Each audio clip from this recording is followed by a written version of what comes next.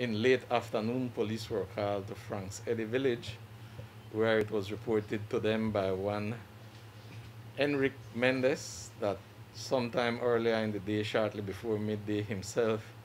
along with his father, Jose Mendez, 46 years, and another male person, um, were in the process of crossing the flooded river to secure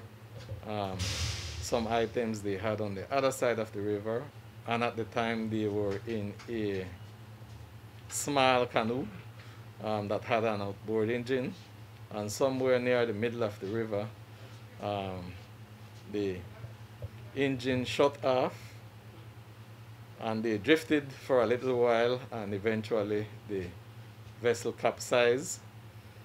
And um, during the process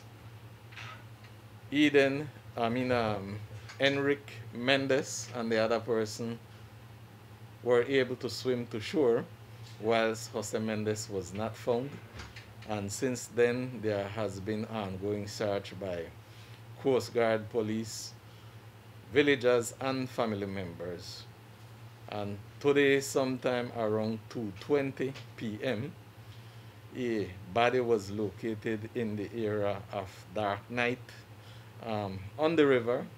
and police and scenes of crime personnel are on the way to process the scene